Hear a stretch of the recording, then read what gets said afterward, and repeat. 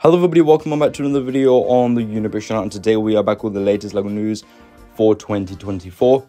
Now of course before I begin the video I just want to say that if you do enjoy and want to keep up to date with all of the latest LEGO news from me then make sure to subscribe as well as like the video and turn on notifications as well as follow me on Instagram and join my Discord server. Links will be down in the description below. But with that being said everyone, let's get right into it. So first up, we have our first official images for the brand new LEGO Buildable Simba set. The set did leak a few days ago, but now we have the full set of official pictures, so we will quickly go through those. Uh, and overall, I think it looks pretty good. We do also have a smaller version of this releasing as well um, in the next few months, which also got revealed about a week ago. And that one is about a £20 set, but this is way over £100. So this is significantly larger than that other version. But I think this one actually looks really good, honestly. I love the shaping for majority of it. I think the only thing I'm not really massive fan of is the mouth section. I think it looks a little bit off. In my opinion i don't know there's just something about the mouth that doesn't look too great uh, for me personally. But i love the tail build. The ears look really good as well. I love the way that they've um, done those as well as the eyes. They don't look that creepy. So that's pretty good there overall. And i think this is one of the least cursed and the most uh, least creepiest uh, lego buildable characters that we've actually seen in quite a long time. And this does include 1445 pieces. For those of you who are wondering now this is of course an 18 plus set so it is mainly designed as a display piece. It's not really meant for playability. However there is some articulation with the model. So for example you can actually rotate the head ever so slightly. You can move that around so i think that's quite nice there. So that does allow you to pose it in different angles. I believe the tail is also uh, allowed to move a little bit as well. I believe that that does have some rotations on it. Um, and I believe that you can also slightly move the arms as well, but uh, majority of the body section is quite stiff and you can see it um, in comparison to the smaller Lego Simba there as well. But I think that both of them honestly look really good next to each other. And then we do also have a brand new Lego Ninjago magazine that has been revealed as well. And this does include one minifigure which actually looks pretty good. Love the staff build there. I think that looks really, really good. Um, and it also does have that really nice dress piece with some great printing there overall. The torso has some nice printing as well.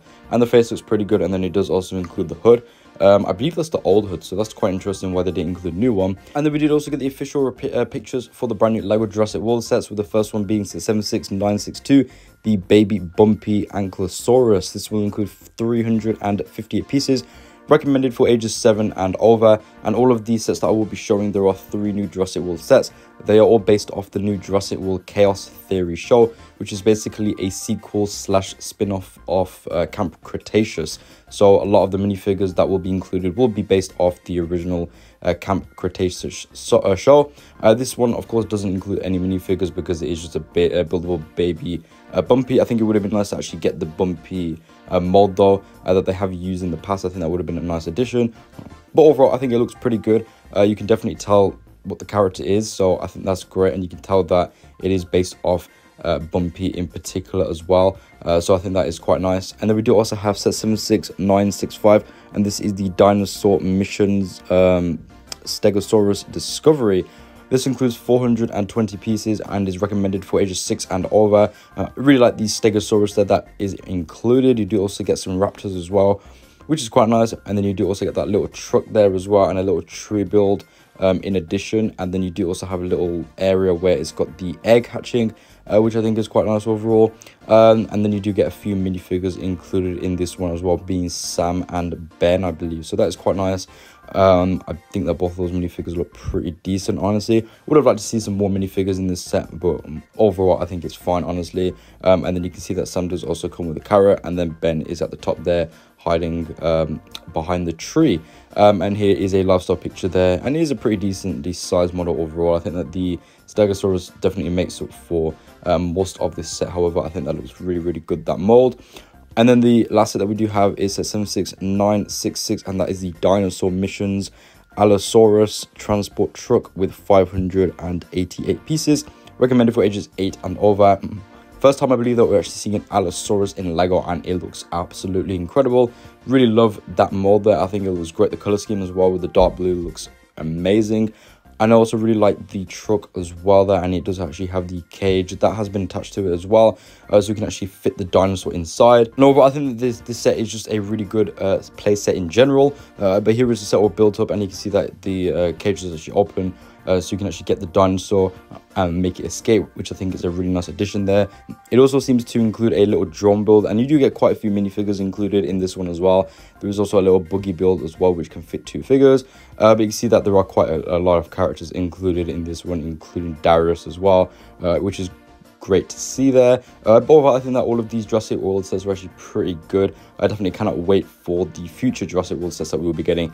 And then we did get the official and our first look at Barad-dûr. And I gotta say, overall this one looks absolutely incredible and for those of you who are wondering this is going to be set 10333 with 5471 pieces and this will be retailing for $460 if you are in the UK, I'm guessing is about 370 pounds from conversions. But like I said, this thing just looks bloody amazing. I'm not even a fan of Lord of the Rings.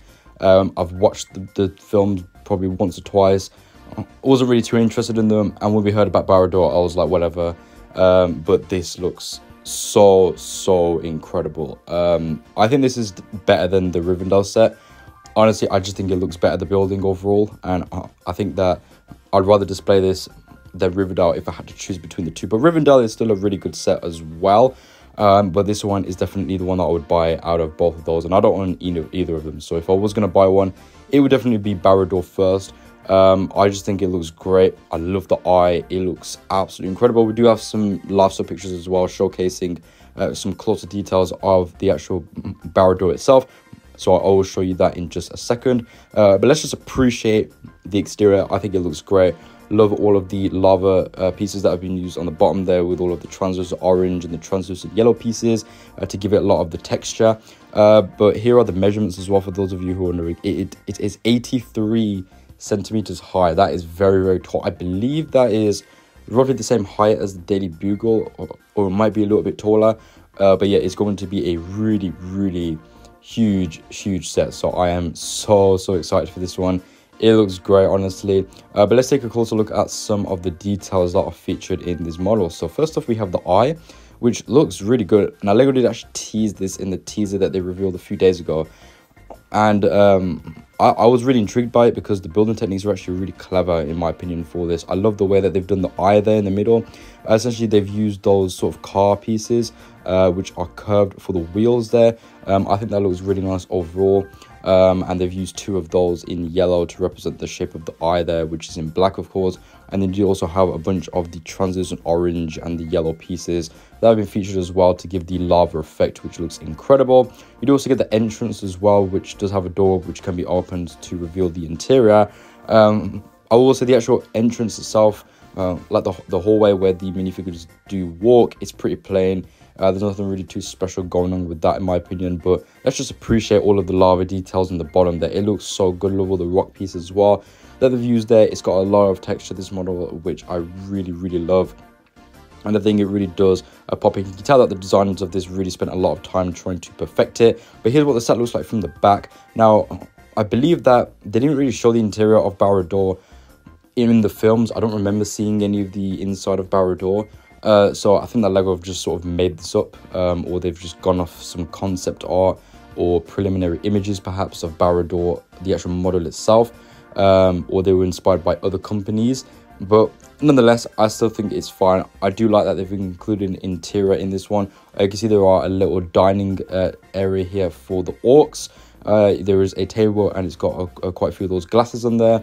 You also got some meat as well and some bones are featured on that as well, uh, which is quite nice. Uh, but you can just see the minifigures look really, really good. We do also have a closer image of all of those figures as well, which we will show in just a minute. There is also this little area where you do have a cage, which has a minifigure skeleton inside, and that is on a chain there and that is actually being hung over the lava uh, i think that looks really good honestly it's a really nice simple effect which I think looks absolutely amazing. Uh, I love the cage build as well. I, I, honestly think it looks great, and it's always great to get more of those Lego skeletons as well. Um, moving on, we do also have a close look at the front entrance as well, uh, just from a little bit of a different angle because the other picture didn't really show it from a bird's eye view very well, but this is uh, the entrance from a bit of a higher angle there. Uh, I think it looks overall really good. Like I said, the entrance is quite plain, but it's fine. You could put quite a few minifigures in there because all of these studs are exposed. So I think that is a pretty big win in my opinion overall there. Uh, but I really do love the shaping as well of all of the entrance area. I think it just all looks really, really good. Um, and here are all of the minifigures. So we do have Frodo and Sam, who I believe are the exact same ones from Rivendell, which is quite unfortunate. I think that it would have been great if they ended up giving them different outfits because you are paying $460 for this just to get the same two minifigures that were in Rivendell. I know Rivendell is an expensive set anyways, but it still would have been nice to get different versions of the characters. Gollum also makes an appearance as well. I believe that is a, a very brand new Gollum as well. Uh, that looks actually pretty good. I do quite like the way the Gollum looks. I think that the arms, however, look a little bit too big on him. And then you also get the Orc, um, and here are the other three Orcs as well. Uh, not really a massive fan of Lord of the Rings, like I said before, so I'm not really too familiar with these specific characters, but uh, I think that all three of these characters look really good. I really like the um, sort of the armor piece that the minifigure on the uh, far right features, and it also does come with a machete as well, as, as well as the minifigure on the far right. And the torso printing for all three of them is just phenomenal. Um, I think it looks great. The leg printing as well is really, really good. Um, and I also really like the helmet for the minifigure on the far right. And then here are the last three minifigures of the set. So we do have the other orc on the far right there. Absolutely love that broken shield piece. I think it looks phenomenal. And then in the middle, we do have Sauron, which I think looks great. I know some people have been complaining about the height of Sauron because he's supposed to be a lot taller than the average LEGO minifigure.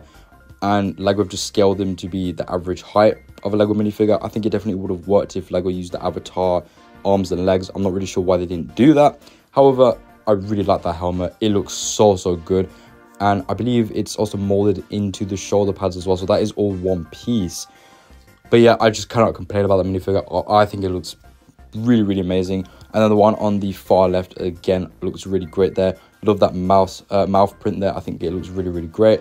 And then that does also come with a new exclusive helmet as well, which looks amazing and some great torso and leg printing. And then when the new Barad-dûr set does launch, you will be able to get your hands on set 40693, the Felbeast Dragon, with 269 pieces. This will be a free uh, gift with purchase that will be, uh, be available during the first week of the launch of Barad-dûr.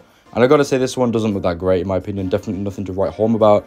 I think a lot of people were worried about this set um, as to whether it was going to include any exclusive minifigures. In fact, the original rumor was that it was going to include three figures. It doesn't. It only includes one minifigure, which I actually think is a good thing because I know a lot of people aren't going to be able to buy Barad-dûr on day one because it is a really expensive set. $460 is quite a lot of money, especially for a Lego set. So I think that what Lego have done here is they haven't made anything too appealing, if I'm being completely honest with you you know, some fans are going to want the Fell Beast Dragon, but I think majority of LEGO fans who just like the Barad-dûr aren't really going to be too bothered about this Fell Beast because it doesn't look the best in my opinion.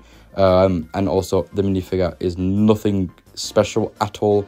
I don't think it even uh, comes with any exclusive uh, prints or anything like that as well. So, um, yeah, um, I'm not really a massive fan of this one. I do like the wings, however. I think the wings look really great. Uh, the rest of the Felbeast, I'm not a massive fan of, especially the head. It looks pretty weird and quite off in my opinion. And that minifigure on the top um, is, like I said, nothing special.